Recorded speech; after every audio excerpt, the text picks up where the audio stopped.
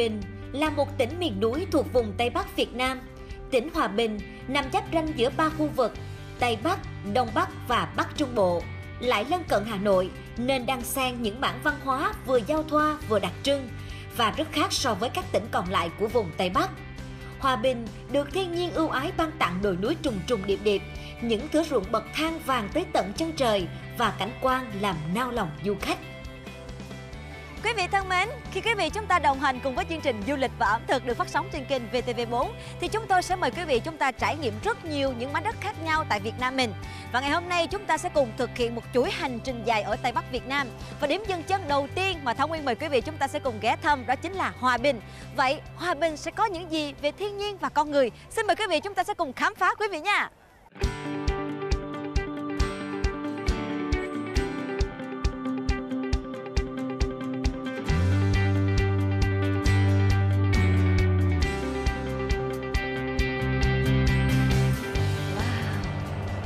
Vị thấy ờ, không gian ở đây như thế nào ạ?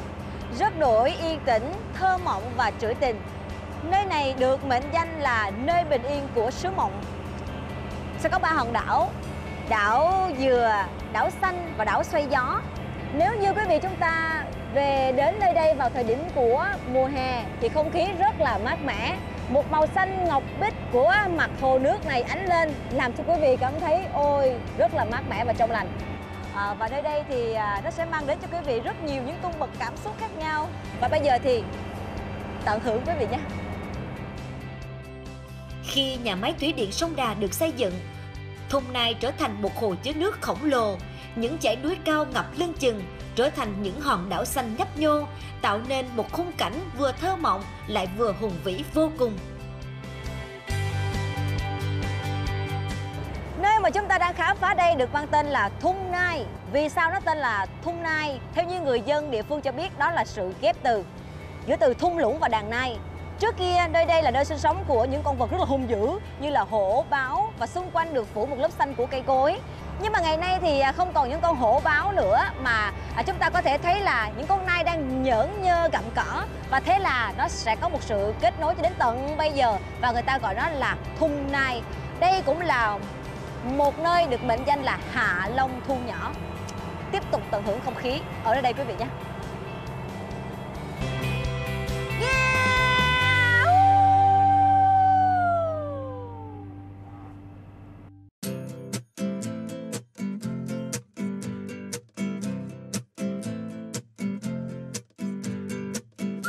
Gắn với con sông Đà huyền bí và kỳ vĩ, từ trong văn thơ đến lịch sử. Thung Nai có nhiều giai thoại đặc biệt liên quan đến những nhân vật trong dân gian và lịch sử, để rồi sinh ra rất nhiều những điểm đến tâm linh. Đền chùa Thác Bờ và động Thác Bờ cũng nằm trong những điểm đến linh thiêng ấy.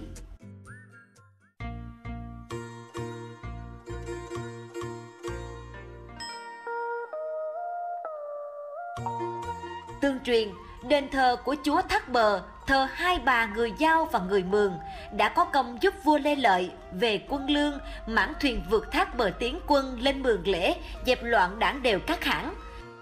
Sau khi mất, hai bà thường hiển linh giúp dân vượt thác an toàn, phù hộ cho trăm dân trong vùng mưa thuận gió hòa, nên nhân dân đã phong hai bà làm thánh và lập đền thờ phụng. Với những niềm tin tâm linh như thế, Động Thác Bờ cũng là nơi người dân và du khách tìm đến nhiều vào các ngày lễ, ngày hội. Họ đến để bày tỏ lòng biết ơn với đấng tạo hóa và các vị thần đã cho mưa thuận gió hòa, mùa màng bội thu, làm ăn phát đạt.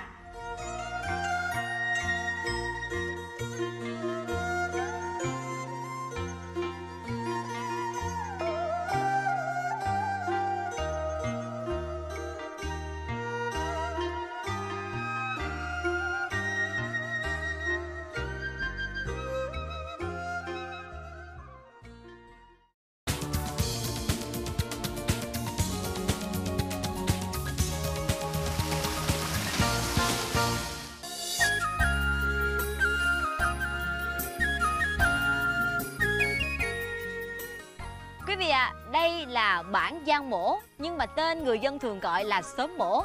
Ở đây có khoảng là 119 nhân khẩu sinh sống. Không gian cực kỳ bình yên bình yên đến độ là Thảo Nguyên có thể nghe được à, tiếng chim hót, nghe được tiếng của con gà cục ta cục tán và điều đặc biệt là những chú trâu đang gặm cỏ. Ở đây hầu như người ta không sợ ăn trộm, ai cũng mở cửa và họ cực kỳ thân thiện.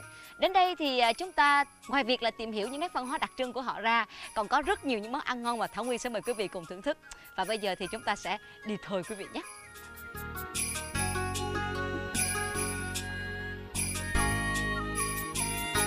Wow Quý vị ạ à, Mương mổ chào đón chúng ta bằng một khung cảnh rất là tuyệt vời. Quý vị chúng ta theo dõi nha.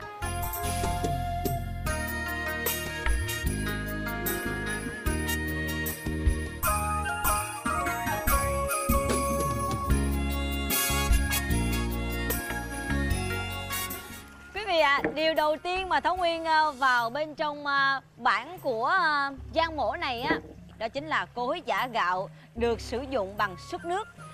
Quá thông minh quá tuyệt vời. Và chúng ta thấy rằng là à, người đồng bào mường họ rất là thông minh. Tại vì ở đây là thường đa phần là họ sẽ lên nương rẫy.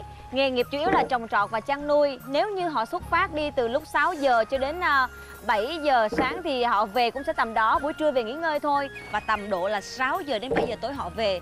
Nên là không có ai ở nhà hết trơn. À, đây là một trong những điều mà thông nguyên thấy cực kỳ thông minh không phải mất nhiều thời gian giả gạo. Nhưng mà đây gạo vẫn được giả như thường nhờ sức nước và cái đường ống dẫn nước như thế này quý vị ạ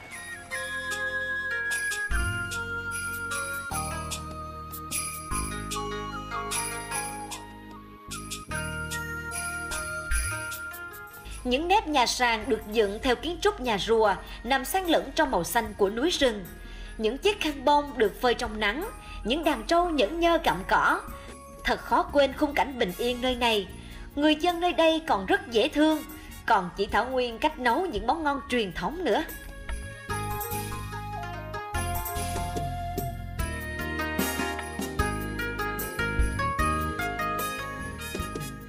Quý vị ạ, à, Thảo Nguyên nghĩ rằng khi chúng ta đi du lịch đến với một nơi nào đó thì ẩm thực là phần không thể thiếu. Và chia sẻ vui quý vị như thế này đây là lần đầu tiên trong cuộc đời dẫn chương trình của Thảo Nguyên à, thực hiện ẩm thực và có hai người rất là xinh đẹp ở bên cạnh Thảo Nguyên. Giới thiệu đến quý vị đây là chị Ngân. Chào chị Ngân. Chị quá xinh. Đây là chị Tươi. À, chào chị Tươi. Chị cũng rất là tươi. Và ngày hôm nay chị Ngân sẽ giới thiệu đến à, quý vị hai món ăn rất là ngon. À, mời chị Ngân sẽ giới thiệu đến quý vị ạ. À. mình sẽ làm món gì vậy chị À, hôm nay mình sẽ làm món à, nem rán mà cái món mà ở bản là thường xuyên là làm cho khách ăn đấy bạn. Dạ. Gồm có thịt nạc vai. Dạ. Hành tây, dạ. hành hoa, cà rốt, nấm hương, mộc nhĩ, à, miến và không thể thiếu được là trứng. Có thể trứng gà và trứng vịt thì đều được. Dạ. À, tất cả các à, nguyên liệu mình đã băm nhỏ. Dạ. Mình trộn đều cộng với cả cho trứng. Dạ.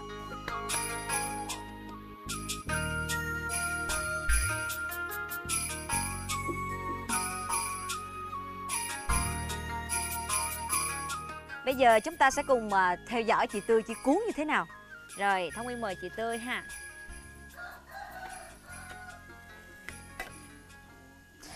Cái này là trong quá trình mình ăn mình có cắt đôi ra không chị hay là mỗi người sẽ cầm một cuốn rất là to thế này? Dạ thường thường là người dân tộc của em là cắt đôi ra. À cắt đôi à, cắt đôi ra, cắt làm ba. Xong là có cái nước chấm riêng của nem này Đang uh, hồi hộp chờ đợi không biết là món ăn này sẽ như thế nào. Tại vì ở cái khâu nguyên vật liệu thôi Thảo Nguyên đã thấy nó rất là ngon rồi quý vị ạ. Dạ em đã cuốn xong rồi ạ. Trời ơi Quý vị thấy khéo tay chưa nè? Bây giờ mình cuốn xong rồi thì mình làm gì? Chiên thôi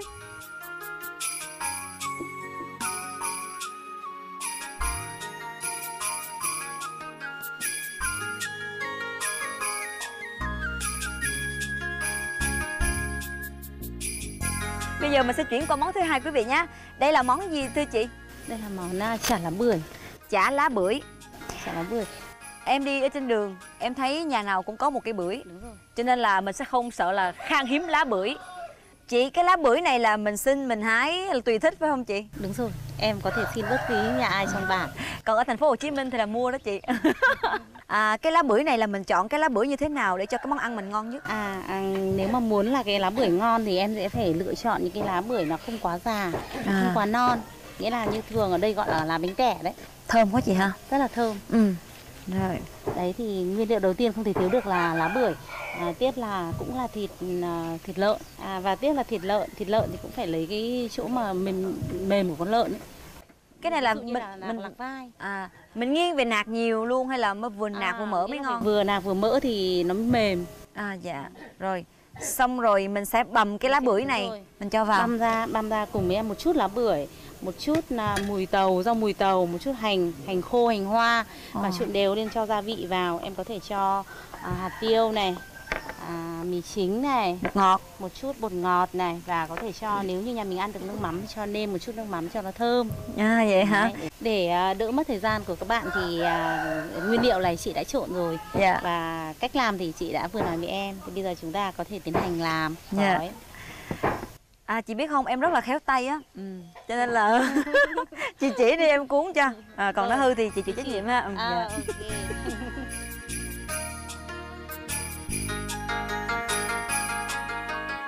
Khéo tay ghê. rồi Rồi, rất là đẹp.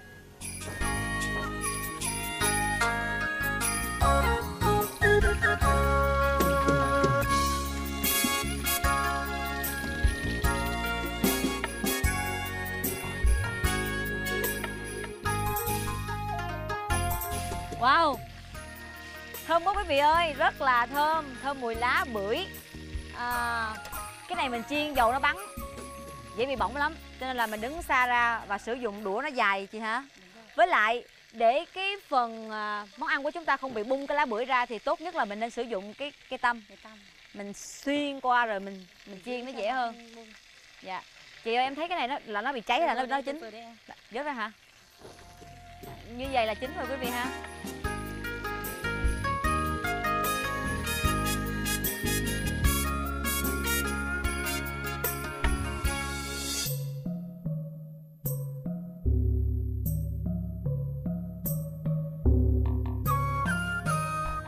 Sau khi đã hoàn thành hai món này rồi thì em à, chị chị mời Thảo Nguyên Dạ. nhá. À, này trước nhá. dạ Cảm Rồi, em ơn. Ăn thử đi nha. ăn em phải chấm ạ Dạ. à, nước chấm nước chấm em. dạ rồi cảm ơn chị ngân và chị tươi mời quý vị thưởng thức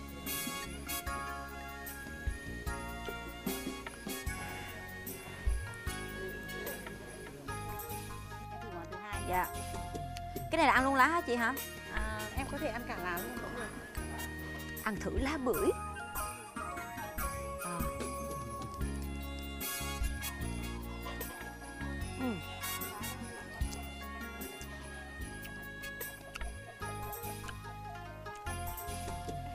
thế nào?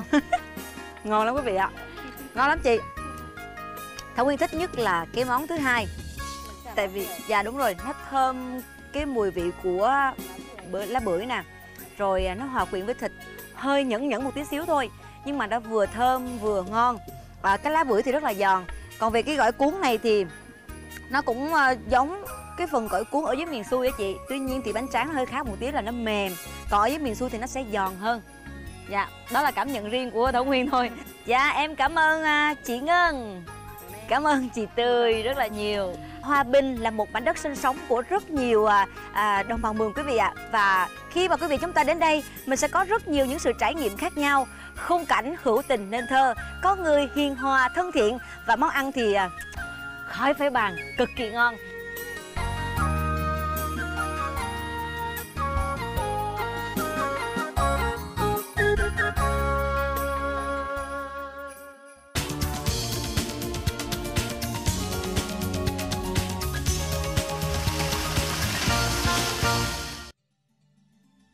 Tạm biệt bản Giang Mổ Bình Yên với nhiều món ăn ngon của đồng bào Mường. Thảo Nguyên lại tiếp tục đến bản Lát Mai Châu, nơi tập trung nhiều đồng bào Thái sinh sống. Nơi đây đã nở rộ trào lưu làm du lịch cộng đồng, nên không khí khá nhộn nhịp hơn. Những mặt hàng thổ cẩm được bày bán cũng nhiều hơn và còn nhiều điều thú vị khác nữa.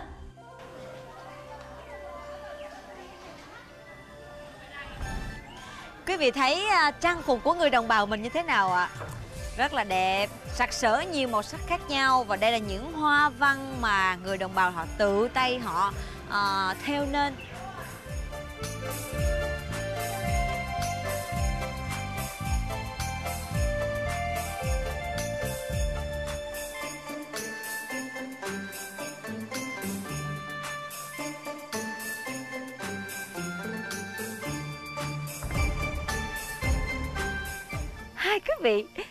Nguyên đã chọn cho mình à, trang phục của người đồng bào Thái à, Mai Châu.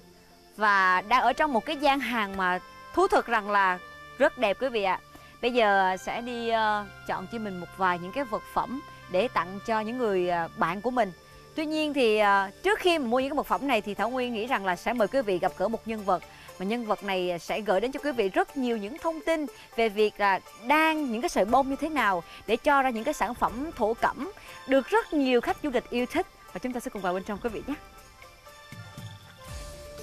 À không biết phải chị gì không? À rồi chào chị dị. À, tìm nhà chị cũng không có khó lắm. Mới nãy là thảo nguyên ở dưới à, bản lát một à, mua cho mình à, rất là nhiều những cái món đồ xinh xắn. Rồi xong rồi hỏi thăm địa chỉ là nơi nào dệt nổi tiếng nhất ở Mai Châu thì người ta giới thiệu là ở bản lát hai là là cái cửa hàng của chị dị đây. Quý vị thấy thế nào ạ? À? từ mặt khăn này cho đến những cái ví nho nhỏ xinh xắn như thế này và những cái túi sách nữa. Và chưa kể rằng là um, chúng ta sẽ có thêm những cái gối để trang trí trong nhà. Dạ.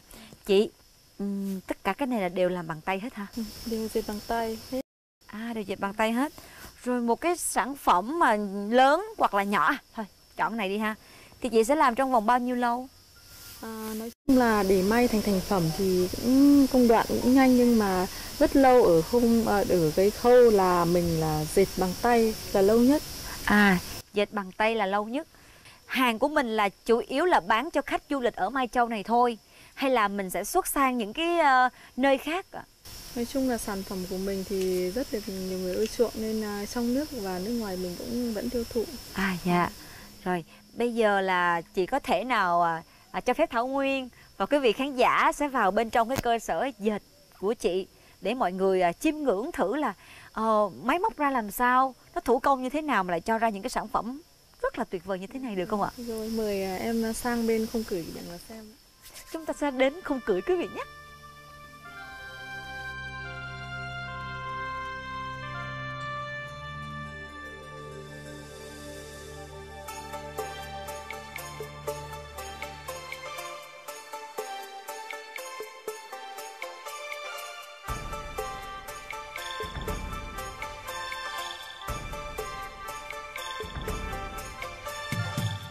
Cái sợi này á Thảo Nguyên không biết rằng là nó chỉ là một cái ờ, vật dụng để mình trang trí trong nhà thôi Hay là mình vẫn có thể mặc Mà nếu mà mình mặc vào mùa đông thì nó có ấm không? Tại vì Thảo Nguyên thấy nó nó mỏng chứ nó không có dày À, riêng sợi bông tự nhiên thì mặc vào mùa đông thì rất ấm và mát vào mùa hè. Nguyên vật liệu này là do người Thái mình làm ra hay là à, chị nhập ở đâu?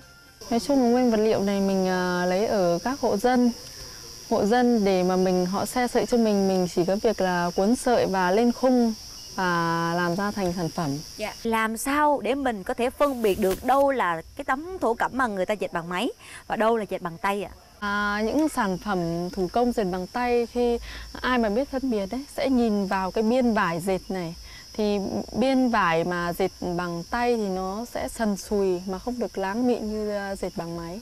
À, hầu như là à, con gái Thái bây giờ thì ai cũng biết dệt. Vì khi về nhà chồng thì ai cũng phải có tấm vải này về nhà chồng làm của hồi môn làm chăn đệm ngồi để cho bố mẹ chồng. À. phụ nữ thì cũng sẽ có rất là nhiều việc không phải ai sinh ra cũng khéo tay. Thí dụ như mình không có tự à, ngồi dệt được mình ra ngoài mình mua rồi mình mình mang về mình làm của hồi môn được không ạ? À, mình không thể mua ngoài được vì ở đây là ở tấm lòng mình để à, dành những tình cảm dành cho bố mẹ chồng. Chị chị học dệt này là học từ mẹ hay là học từ à, bà ngoại hay bà nội của mình? À, ngày xưa thì hồi còn bé thì mình à, à, nhìn mẹ dệt xong mình dệt theo biết dệt luôn. Dạ chị giỏi quá ha, lại mình nhìn sơ qua là mình đã biết dệt rồi. Còn thí dụ như Thảo Nguyên nè, với lại quý vị khán giả mà muốn à, học cái cách dệt này thì trong vòng bao nhiêu lâu là mình sẽ dệt được? Cũng tùy theo uh, mỗi người thôi, ai nhanh có thể một tuần có thể dệt được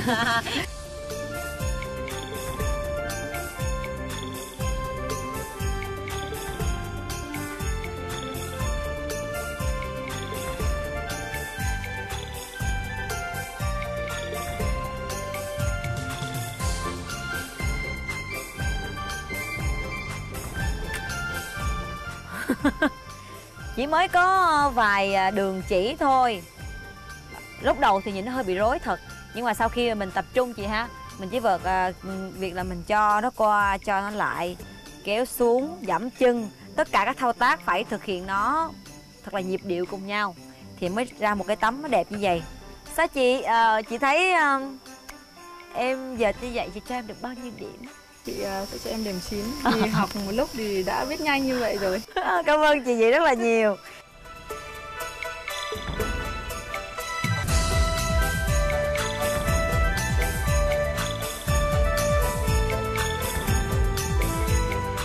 Ở đây có rất nhiều khăn choàng cổ để chúng ta khoe sắc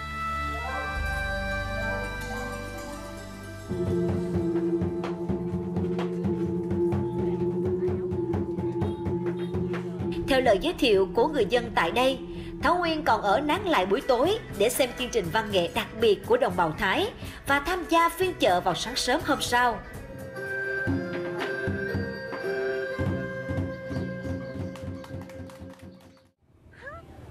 Thảo Nguyên thấy cái này hơi hơi lạ nè à. Xin lỗi nha À xin hỏi à, cái này là cái gì ạ? Đậu gấu à, ra. Đây là quả đậu gấu à, Chúng ta có thể à, mình xào với lại à, thịt Nấu chè được không? À, thích ăn chè mà không nấu chè được thì mình trả lại à. Cảm ơn người đẹp Bắp chuối nè, quý vị thấy bắp chuối nhiều không? lạnh quá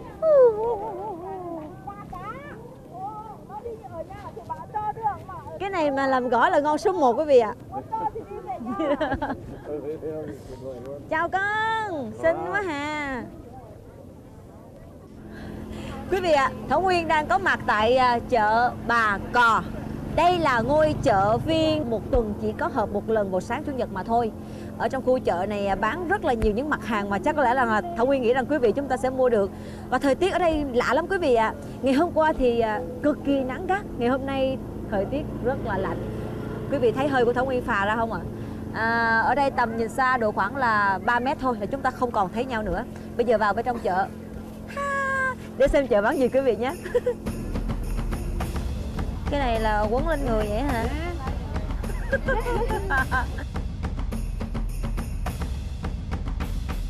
Chợ phiên Bà Cò của người Hờ Mông hợp vào ngày Chủ nhật mỗi tuần là ngôi chợ vùng cao quyến rũ của núi rừng Tây Bắc. Khi sương mù còn mịt mù khắp rừng, khắp núi, bà con người Mông vùng cao Mai Châu đã hầm hở xuống chợ, mang theo những món đồ của núi rừng hoặc tự tay mình làm. Thổ cảm ở đây được bày bán nhiều nhất và Thảo Nguyên thích mê mệt những món đồ ở nơi đây. trông không cái này đẹp quá ha dễ thương quá à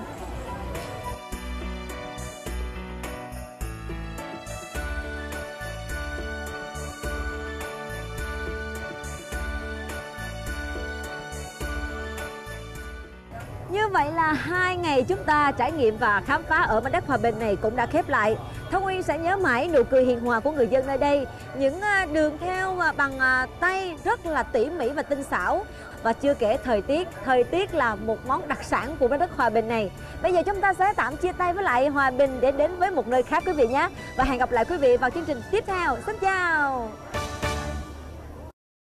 Sài Gòn Tourist hân hạnh đồng hành cùng chương trình.